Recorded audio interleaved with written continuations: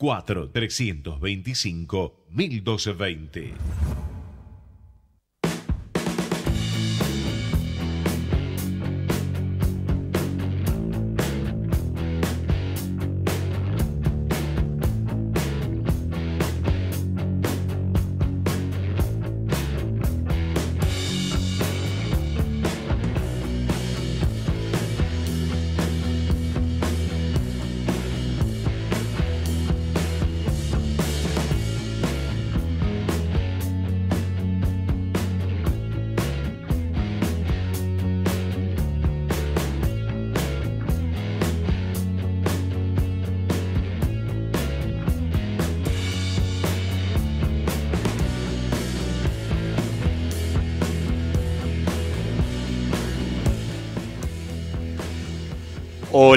Hola, hola. Sí, un, dos, tres, probando. Soy Leo Piccioli. Este es el programa que todavía no tiene nombre, el programa de Leo Piccioli. Estamos, es un piloto, estamos probando. Bienvenidos a todos. Hay gente escuchando por AM 1220 en sus autos. Hay gente escuchando por ecomedios.com. Hay gente mirando por LinkedIn Live desde esa pantalla. Me acompañan hoy Daniela de Lucía y tengo un invitado fantástico. ¿Cómo te presento, Santi? Santiago Bilinkis. Santiago Bilinkis, ¿qué? Emprende- ¿Emprendedor serial? No, los cereales los dejé con, cuando era chico, no los cereales. Bien, emprendedor serial y tecnólogo. Acércate un poquito del micrófono. Emprendedor serial y tecnólogo. Sí, señor. Eh, acabas de publicar un libro. Sí. Contame cómo se llama Guía para sobrevivir al presente. y de qué se trata. Se trata del quilombo que tenemos los seres humanos con nuestros celulares en este momento y qué está causando que vivamos más pendientes de lo que está pasando dentro de la pantalla que de lo que está pasando alrededor nuestro. No me acuerdo si podemos decir malas palabras al aire, pero dijiste quilombo, te diste cuenta, ¿no? Pero quilombo en portugués es una palabra totalmente aceptada. Tenés razón, estabas hablando portugués y si te sos, Ya, rap- ya se me mezcla el portugués a veces. sos rápido. Si tuvieras que dar un motivo por el cual tenemos que ir corriendo a comprar el libro, ¿cuál sería? Que se va a agotar y si no se apuran no lo consiguen. Está bien, pero ¿para qué lo queremos? O sea, yo no lo que- o sea, yo tengo un libro, mirá, tengo este que es el mío. ¿Para qué quiero el tuyo? ¿Para qué querés el mío? Porque ese es un poco gordo y no sirve para nivelar mesas. En cambio, el mío encaja perfecto el tamaño en la pata de la mesa. Buenísimo. Ese libro surgió de un cambio de opinión tuya. Sí, señor. ¿De qué? Mira, básicamente, vos sabés que yo soy muy fanático de la tecnología y hace nueve años tuve la oportunidad de irme a estudiar a Singularity University en, en Silicon Valley.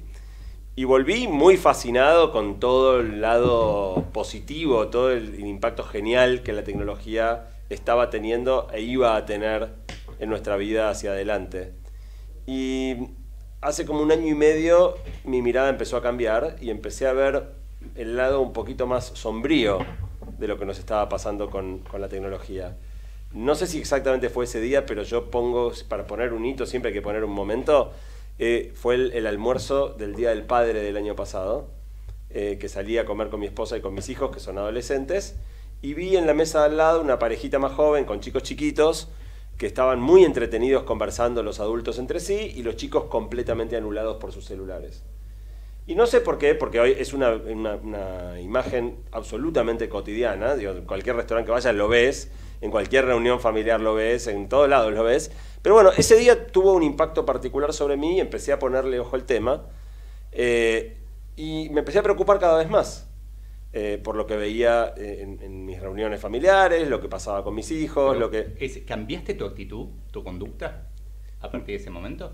Mi, mi conducta ya venía cambiando desde antes, o sea, creo que fue toda parte de el. Candy Crush ya lo habías dejado. No, y mismo cambió bastante mi, mi manera de manejarme con las redes. O sea, yo creo que eh, si querés en esto de, de haber sido más o menos early adopter, ¿no? Empezar a usar Twitter muy al principio, las redes tenían un, un carácter antes de su masivización bastante distinto y en algún momento me fui sintiendo cada vez más sapo de tropos. O sea, me fue pasando un poco con las redes, me fue pasando un poco con mi propio uso del celular, le saqué las notificaciones, no, no había leído nada, pero me fueron surgiendo naturalmente.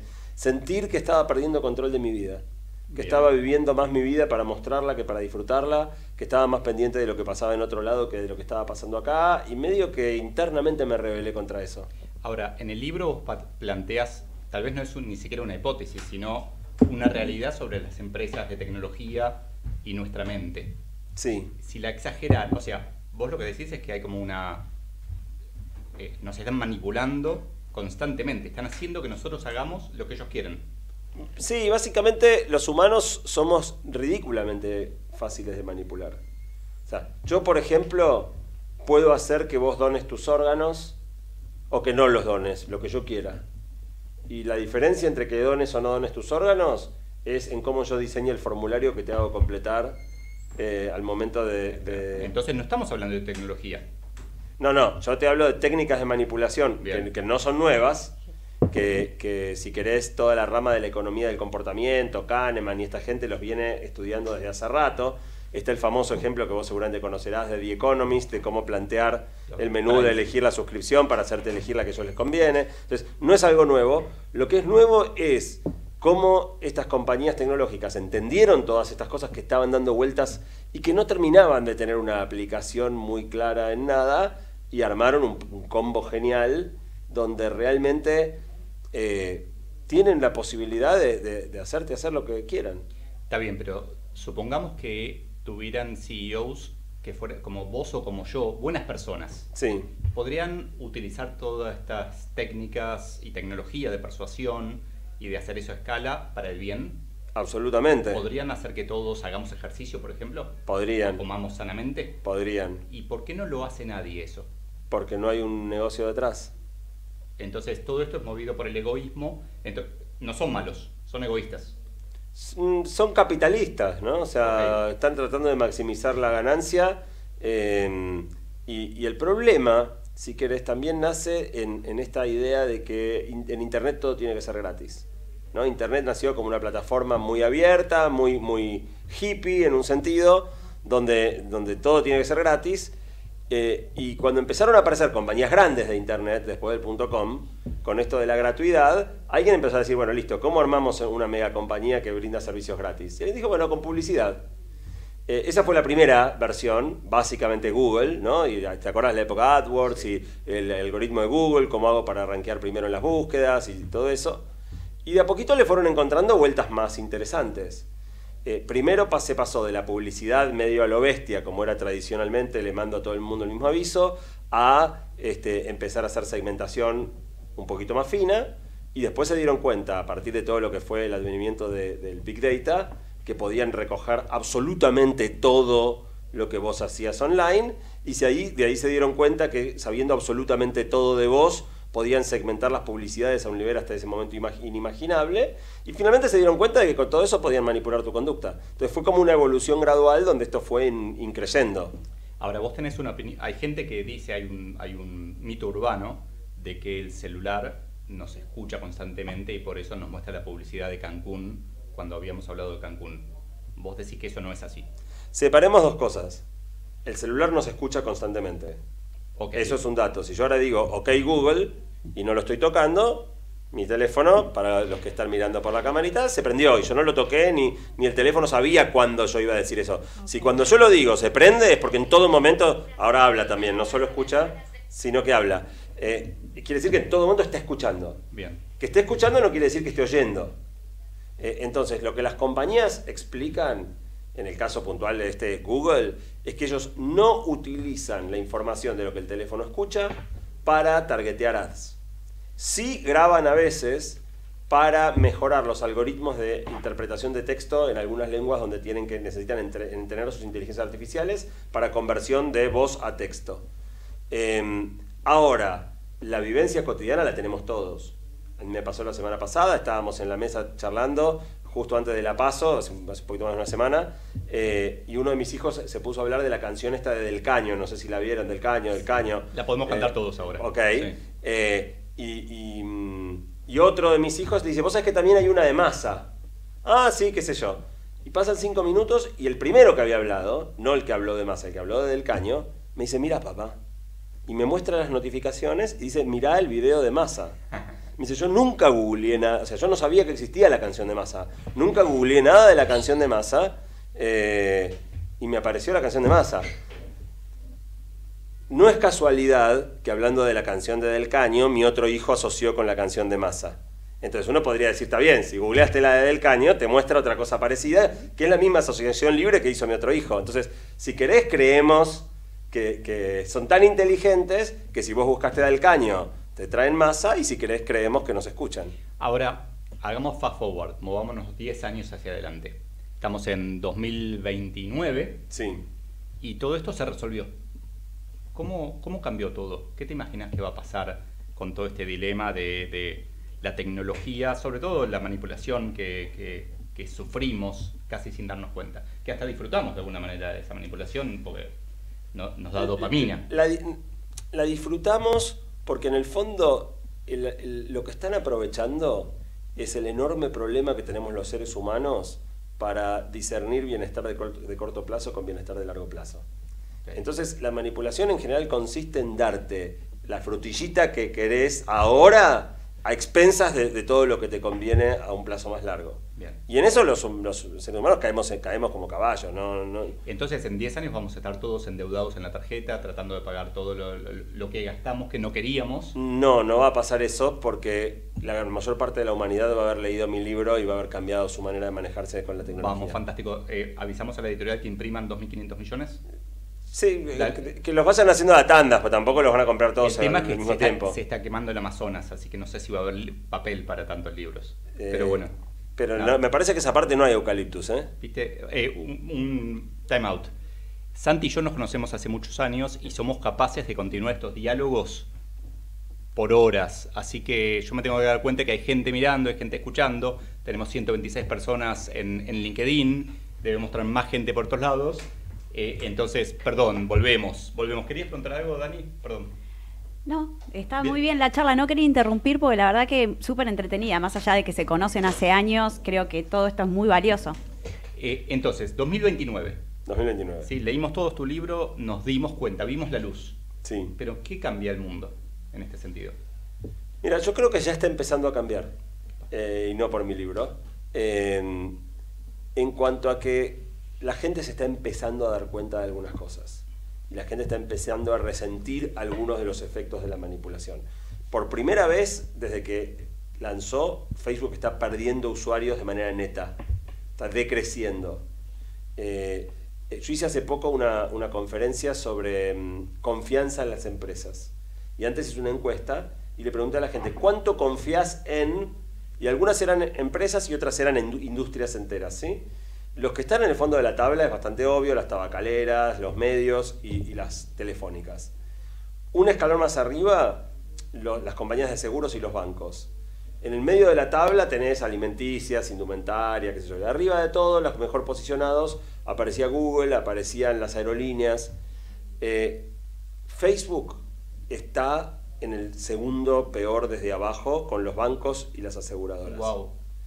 Eh, Fortnite también. Y, y las eh, ag- agencias o la gente que se dedica al marketing también. Wow. Con lo cual, digo, la sociedad está empezando a darse cuenta y les está empezando a, pasar la factura. Y entonces, cuando sale Facebook a decir vamos a eliminar los likes de Instagram, yo creo que son las reacciones. digo, eh, los likes de Instagram son una de las principales vías de manipulación que te da mucha gratificación a corto plazo y te recontra arruina la vida a largo. Y que estén dando marcha atrás cuando a ellos claramente les conviene mantenerlos es un dato súper fuerte. Bien, genial. Vos sos optimista, entonces. Yo creo que, digamos, no sé si vamos a ganar el partido, pero en este momento estamos jugando con una cancha totalmente desnivelada.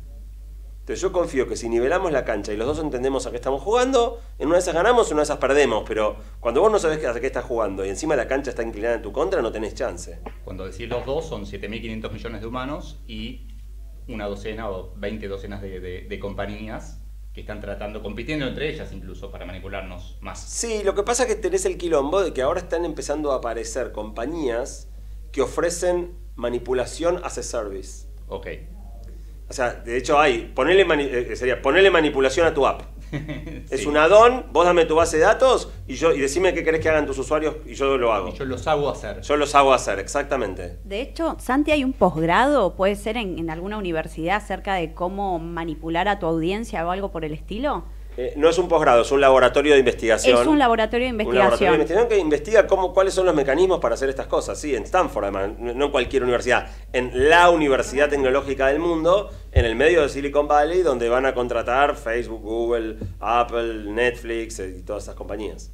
Hace poco, el lunes, hay, hay un, como una asociación de grandes empresas norteamericanas que sacó un press release contando que decidieron los, eh, los 187 CEOs, incluyendo a Jeff Bezos de, de Amazon y a muchos otros, que el objetivo de las compañías no es más la rentabilidad, sino que es satisfacer a todos sus stakeholders, a empleados, sociedad, eh, medio ambiente, rentabilidad, o sea, accionistas, que ya no es más como Friedman eh, lanzó, no sé, en los 70, la rentabilidad es todo, los accionistas son todo.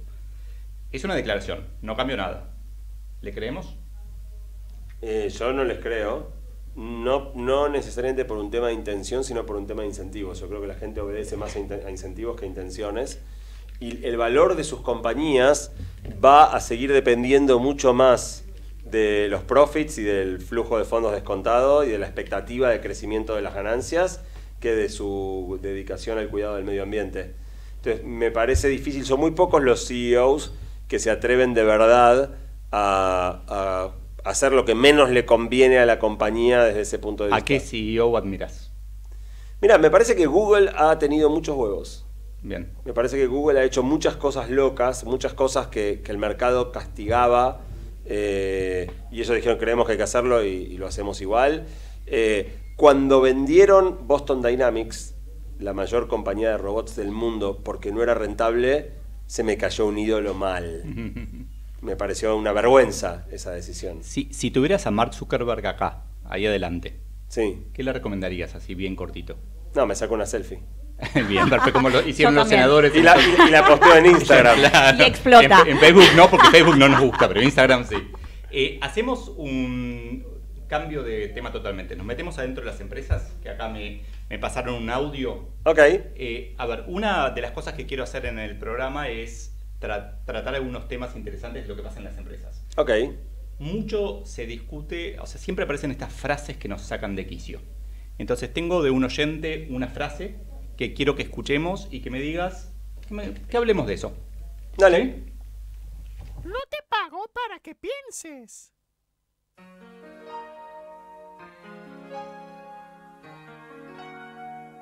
No te pago para que pienses.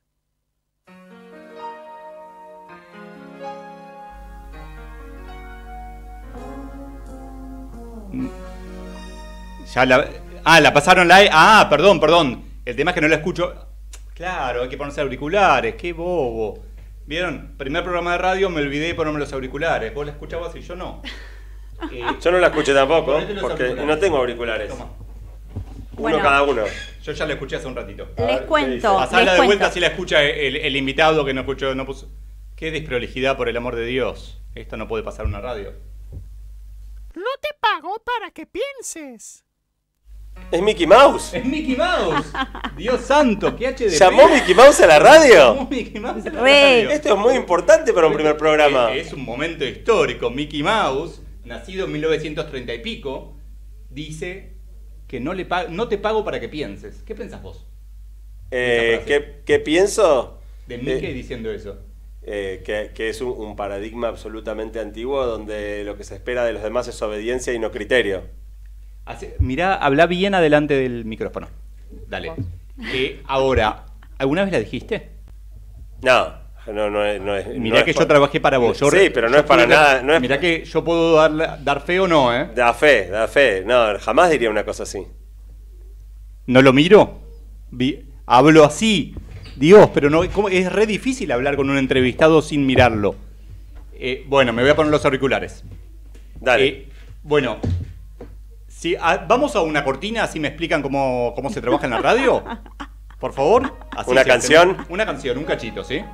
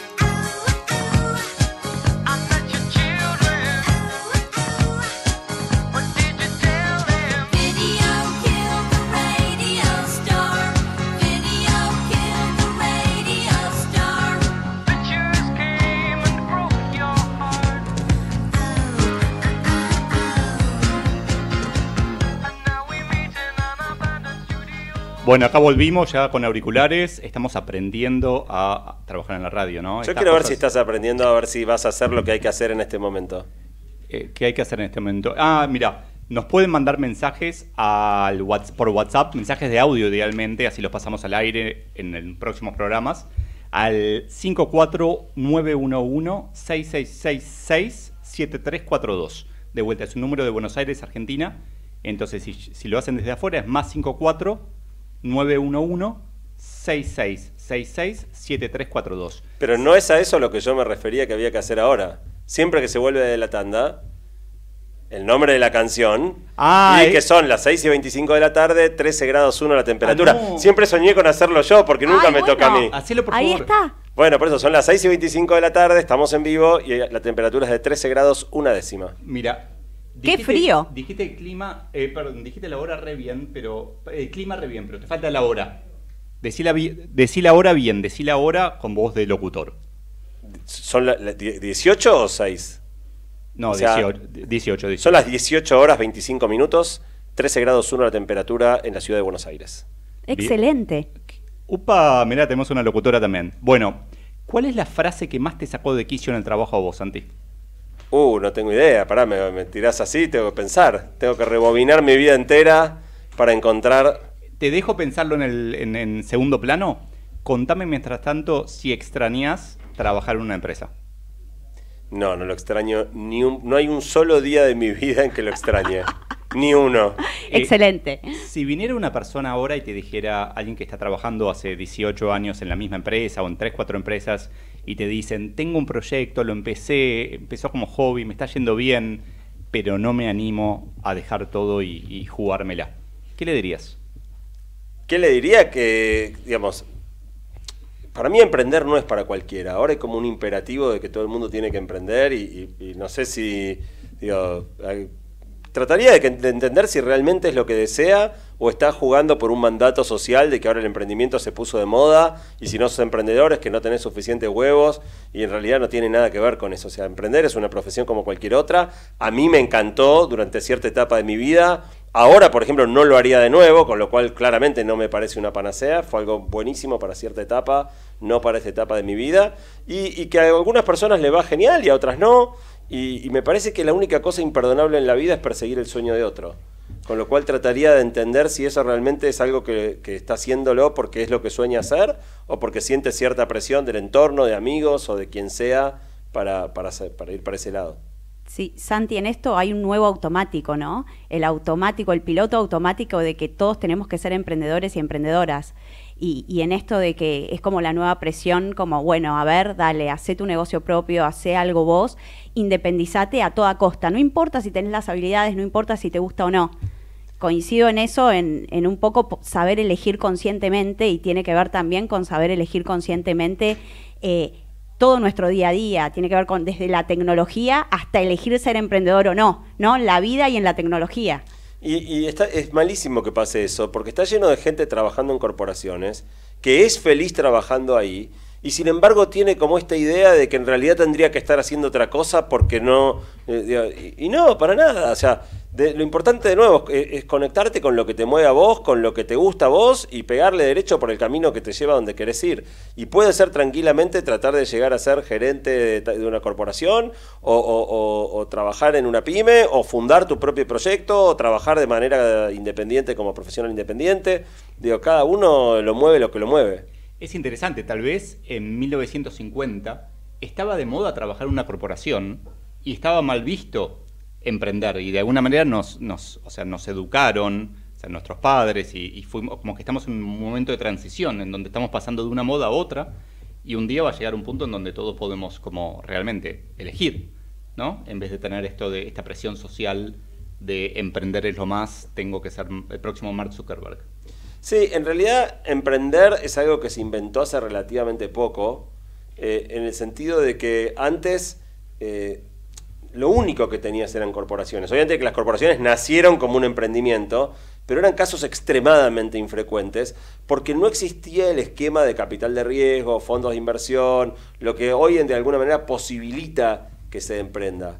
Y el otro gran facilitador fue Internet, ¿no? donde ahora realmente uno con muchísima menos plata que antes puede prototipar, probar un proyecto, este, comprar publicidad online, llevar gente a un sitio. Entonces, la verdad que eh, antes lo único que existía era la corporación, de repente aparece el emprendimiento y estamos como un poquito cebados y entusiasmados con lo nuevo. Y después probablemente termine decantando a, a, digamos, a N opciones diferentes para construir tu carrera. Te dejo una pregunta para después del corte. Dale.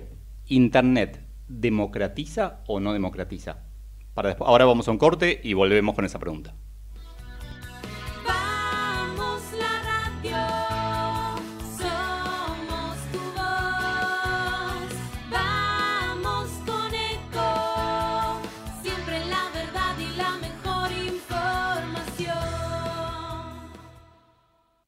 Vení a OnFit y encontrá las mejores máquinas, profesores especializados, clases a tu medida y la mejor relación precio-beneficio en gimnasios. www.onfit.com.ar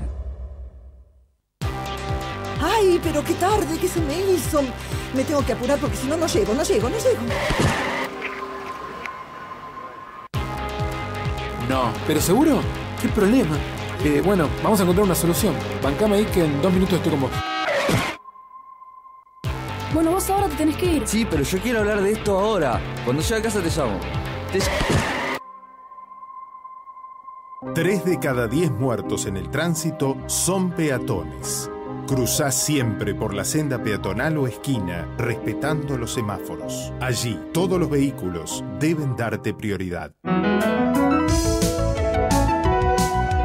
Luchemos por la vida. Podés vernos en vivo en ecohd.com.ar. ecohd.com.ar Conectate con nosotros. Twitter arroba Ecomedios 1220.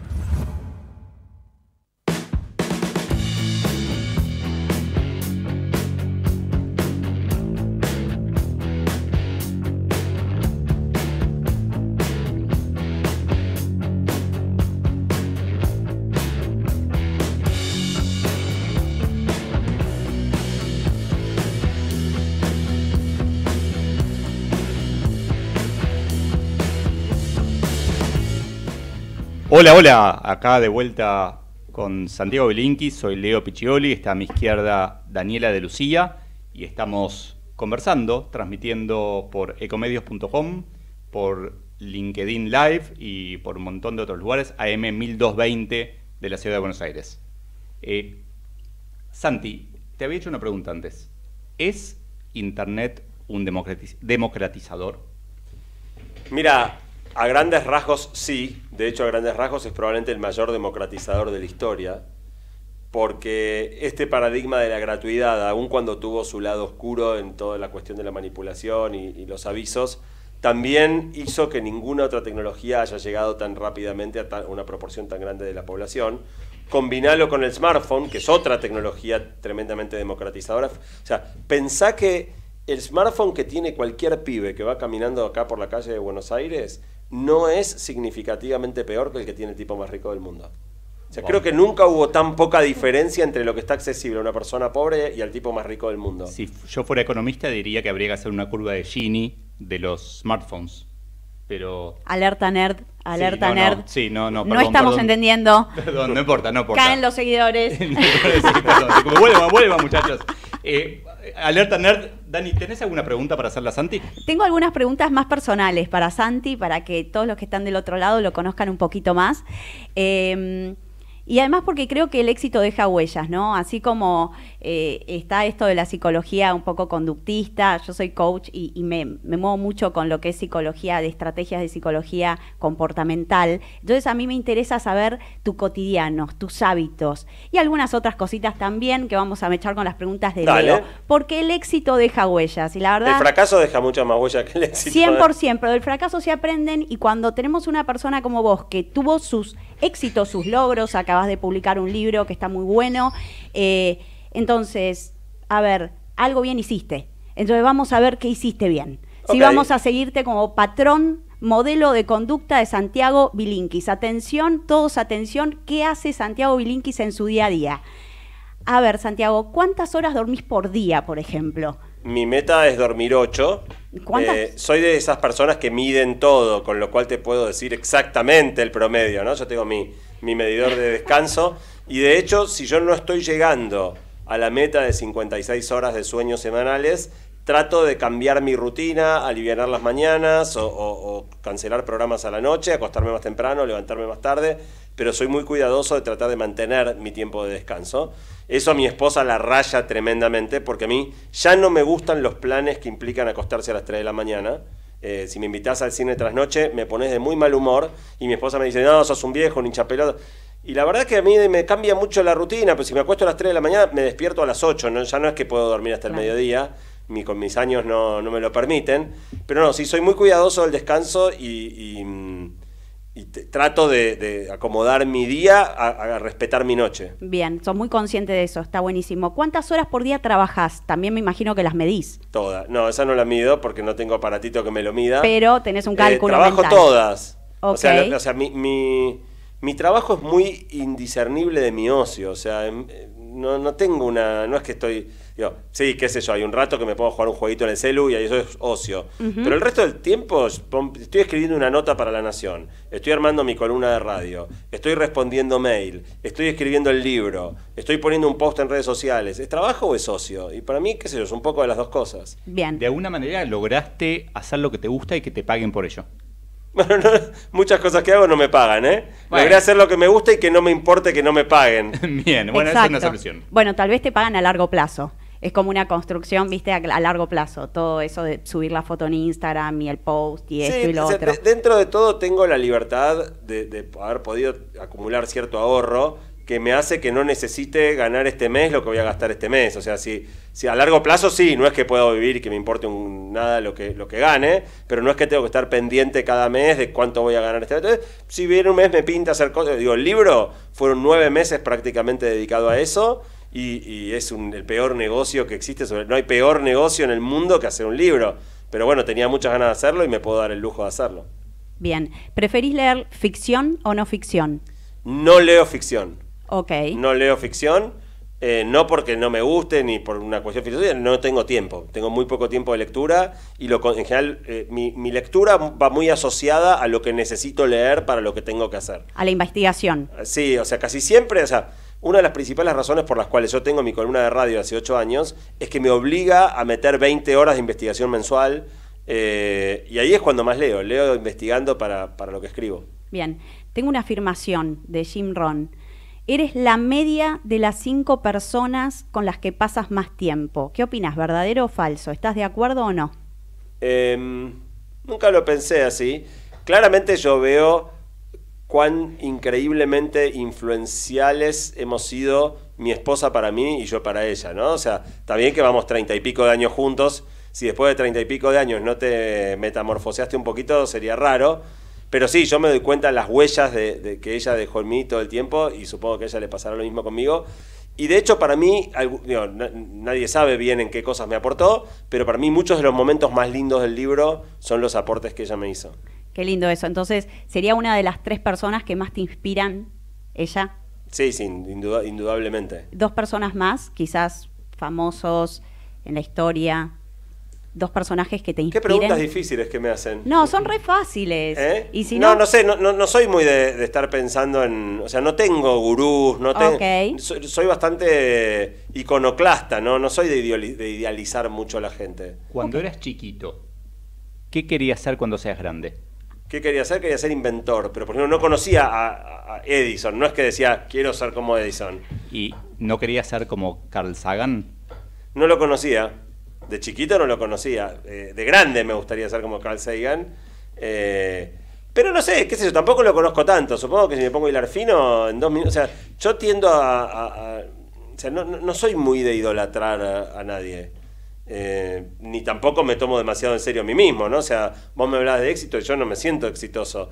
Eh, creo que todo el mundo, digo, la- las vidas son vidas y cada uno obviamente se acostumbra a lo que le pasa y entonces el que es futbolista, Messi debe ver la vida como, como la vida y es un tipo... Lo que yo no entiendo es cuando veo, no sé, cuando fue el casamiento de Messi y por días y días se publicaba en el diario el vestido de Antonella y los regalos Y a mí te juro que no me podría importar menos, no entiendo por qué a la gente le importa. Eh, y, y qué sé yo, o sea, no, no soy muy... de- o sea, tampoco nunca le pediría a nadie un autógrafo, no hincharía... La única... Perdón, estoy mintiendo. Una sola vez le pedí a alguien un autógrafo eh, y fue a Steve Wozniak cuando vino Bien. a la Argentina y me firmó la Mac. Ah, o sea, o yo sea- tenía mi Mac firmada por su autor, pero a Jobs no se lo hubiera pedido, por ejemplo. Wozniak me seduce lo nerd, lo... digo, Lo auténtico, ¿no? Sí, sí, la- me, me- me da mucha ternura. Bien. Puedo- Meto una pregunta acá de LinkedIn, dos. Una es, ¿haces deporte? Menos de lo que debería, pero un cacho sí. ¿Qué? Juego, juego tenis dos veces por semana. Eh, practico ping-pong una vez por semana. No, dale, de- deporte dije. N- No sabés lo exigente que es.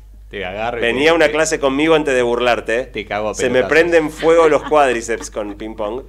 Eh, y después trato de hacer actividad aeróbica y una vez por semana de gimnasio. Muy tranca, ya estoy viejo. Esa era fácil, ahora la difícil. ¿Hay algo que te, que te inspira en tu vida? Eh, en general, lo, lo que, hay cosas que me entusiasman. El libro me entusiasmó muchísimo. Por ejemplo, hace mucho que no sentía tanto entusiasmo.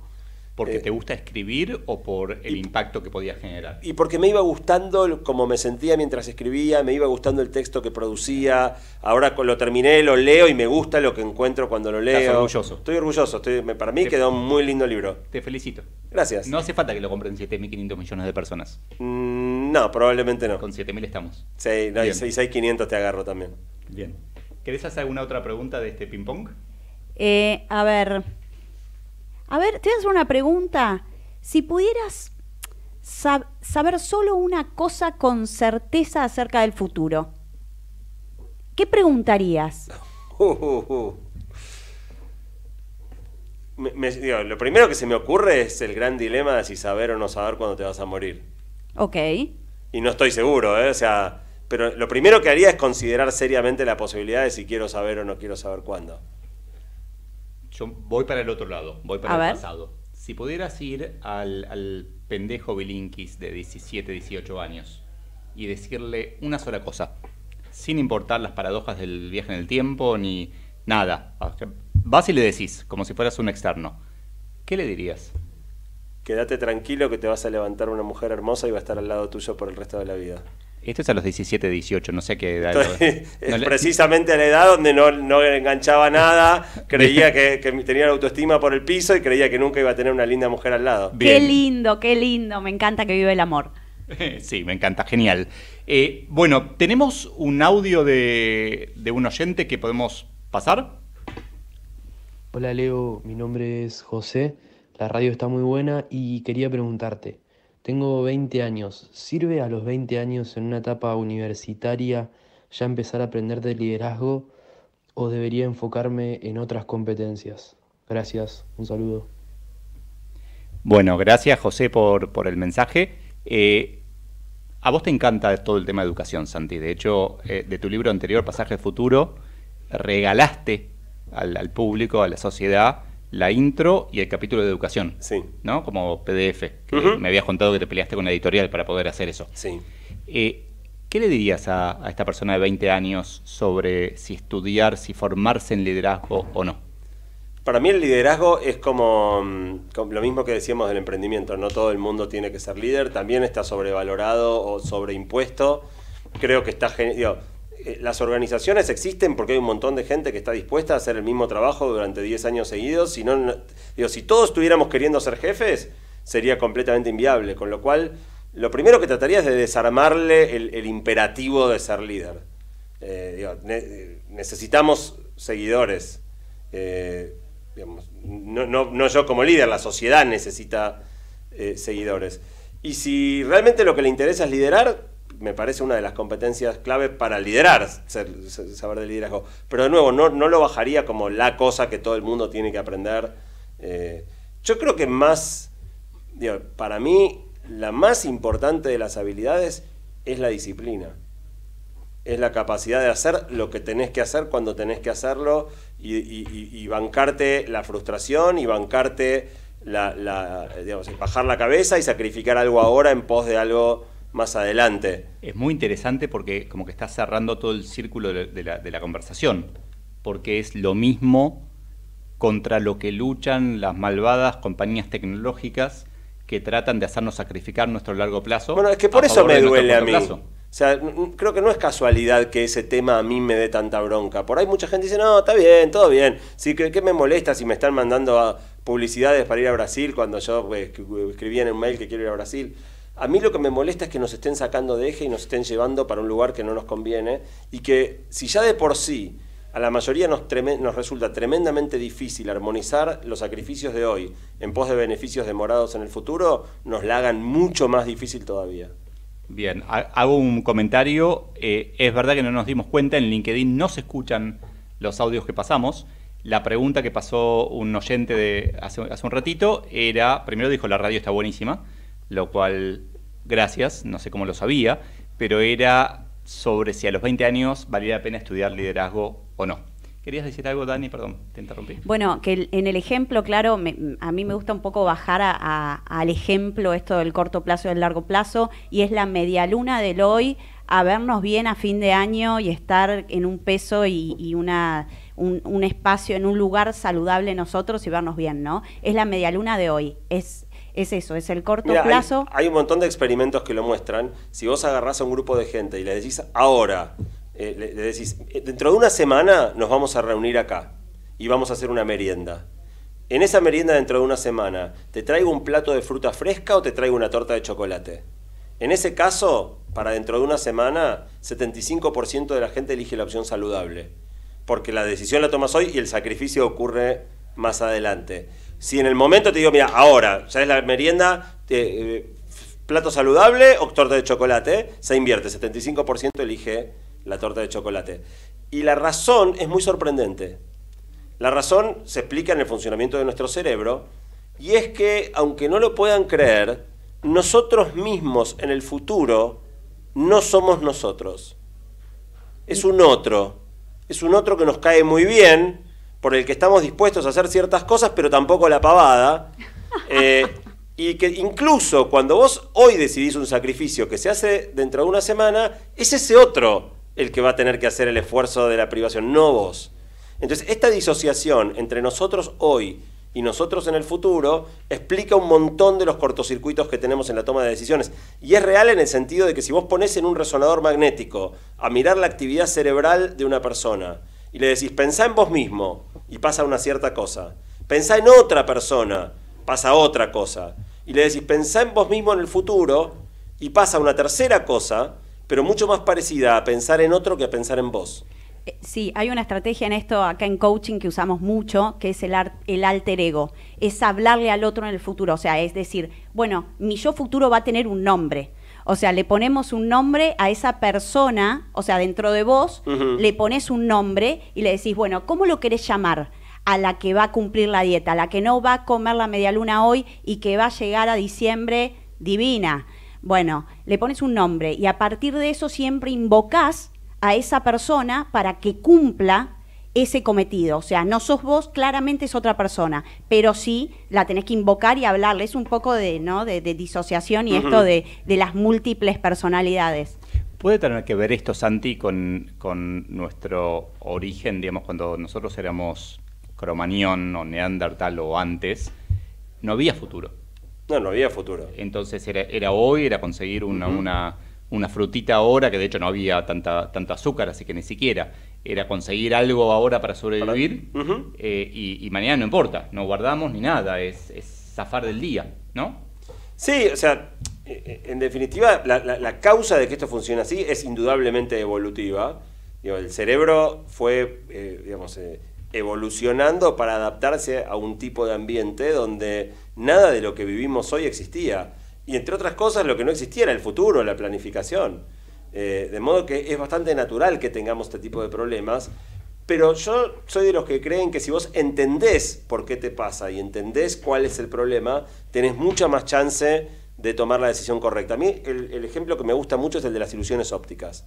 Viste, si yo te muestro una ilusión óptica, dos segmentos que miden lo mismo, pero que uno tiene como flechitas para adentro, otro flechitas para afuera, y te parecen distintos, y yo te muestro con una regla que miden lo mismo y tus ojos lo ven distintos, y, y no hay nada que yo pueda hacer, no importa cuántas veces te demuestre que son iguales, vos los ves distintos. Pero lo que tenemos como especie humana, o sea, no podemos cambiar la percepción. Siempre nos vamos a ver distintos. Lo que podemos es tener la racionalidad de decir, está bien, yo los estoy viendo distintos, pero no son distintos.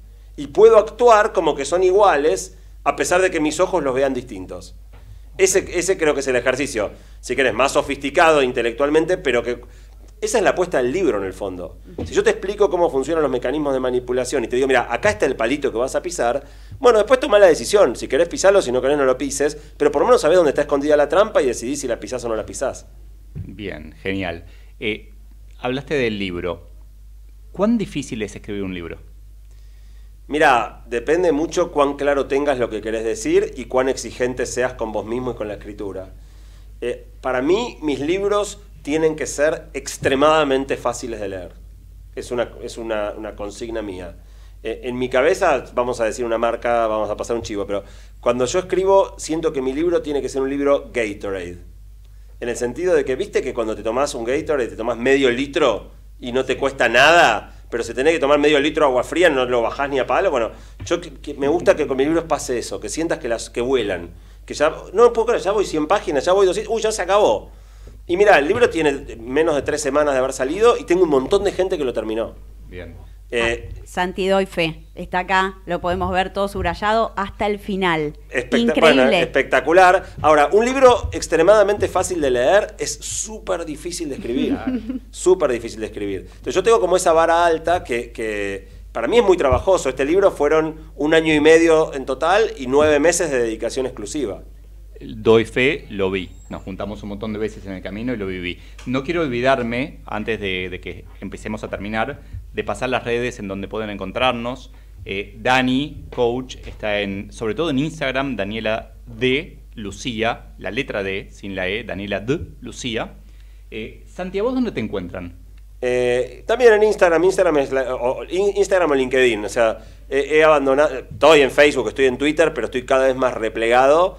Me siento mucho más cómodo en Instagram o LinkedIn. LinkedIn, si querés, con un perfil un poquito más profesional. Instagram, un poco más en mi vida personal. El, el backstage. Y de hecho, tanto en Instagram como en LinkedIn tengo los mensajes abiertos a que cualquiera me escriba y en, en Twitter no, por ejemplo.